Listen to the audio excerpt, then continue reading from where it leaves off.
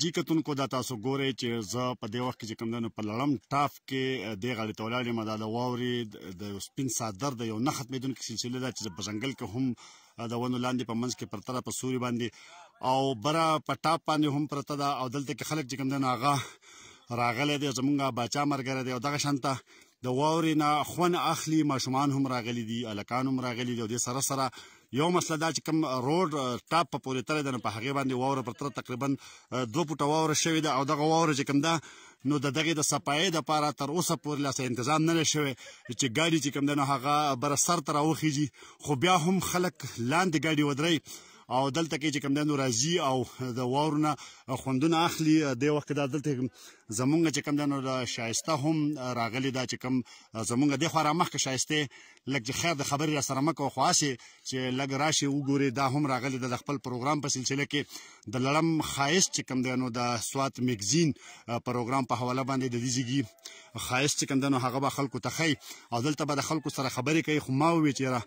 لږ زه تاسو ته هم د واورې دا یو نه ختمېدونکې سلسله چې کومه ده د دې نظارې درته وښیم دا زمونږ کیمرمین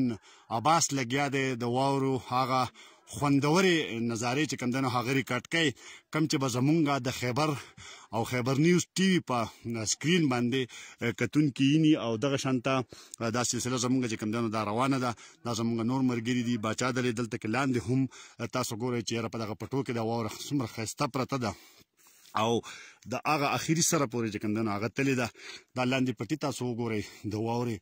صادرې چې کمدنو هغه دی په سر کړی دی اغوندې اغوستې دي او دغه شانته یو نه ختمېدونکې سلسله د واورې پته نه لګي چې د کوم وخت پورې به دا پرته خو ډېر خوند کوي مونږه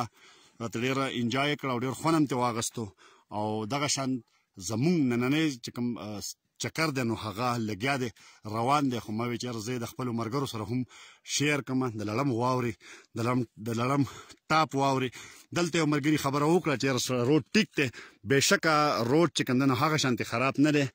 کم چې لکه خلک دلته وایي چې یاره دا خراب دی خو بیا هم پکار دی چې حکومت دې سیمې ته توجه ورکړي ګوره دا واوره په دې سړک باندې پرته ده ګاډي خلک لاندې پریدي او مطلب دا چې دلته کې راځي نو په کار دار چې د دې صفایې د پاره څه بندوبست شوی او خلک چې کمدنو هغه د دې حد پورې دې زیات چې کمدنو هغه راتلې د تاسو ګورې زمونږ شایسته چې کمدنو هغه